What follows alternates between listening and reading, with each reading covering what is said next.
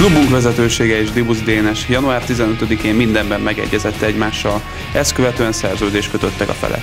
A 23 esztendős kapus éveken keresztül a PMFC alapembere volt, így fiatal kora ellenére jelentős élvonaldali rutinnal bír. A szerződés bejelentését drukkereink nagy örömmel fogadták.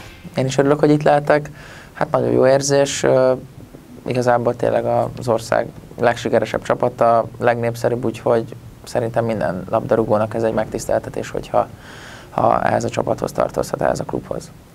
Nyilván mindenkinek az volt az érdeke, hogy, hogy ennek az ügynek a végére minél előbb pont kerüljön, illetve hát ugye nekem is személy szerint az a legjobb, hogyha ha annál a csapatnál kezdem meg minél hamarabb a felkészülést, ahol, ahol a későbbiekben szerepelni fogok, úgyhogy igen, örültem neki, hogy ezért gyorsan lezajlott ez a folyamat.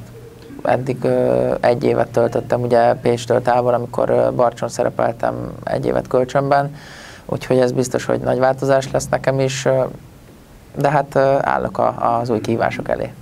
Munkás évek voltak mindenképp, ugye az MB2-ből is fel kellett jutni, illetve az MB1-ben helyt kellett állni. Úgy gondolom, hogy ezeket a feladatokat sikerrel vettük, és hát gondolom ennek az eredménye is volt az, hogy a, a Ferencvárosnál felfigyeltek rám. Igen, tegnap este érkeztem, és a ma délelőtti edzésen már részt vettem. Nagyon pörgős, nagyon jó edzés volt. Nekem nagyon tetszett. Úgy gondolom, hogy a, a, a társak is teljesen pozitívan álltak hozzám, úgyhogy én nagyon bízom benne, hogy sikeres időszak lesz az elkövetkezendő. Nagyon nagy és nagyon fanatikus szurkolótáborral rendelkezik a, a csapat, és ez, ez tényleg egy plusz embert jelentett minden mérkőzésükön. Ezt ugye személyesen tapasztaltam én is például, amikor tavaly még az ülői úton 3-2-re kikaptunk 2 0 vezetés után, hogy, hogy egyszerűen olyan, olyan segítséget adtak a, a csapatnak, hogy, hogy tényleg annak köszönhetően meg tudták fordítani a meccset, és nem estek kétségbe.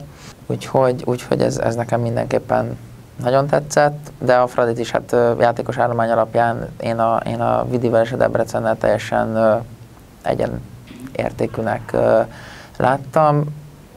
Sajnos volt itt egy rossz periódusuk a, a, a bajnokság vége felé, úgyhogy emiatt azért távolabb van most a, az első hely, de úgy gondolom, hogy a dobogóra mindenféleképpen odaérhet ez a csapat.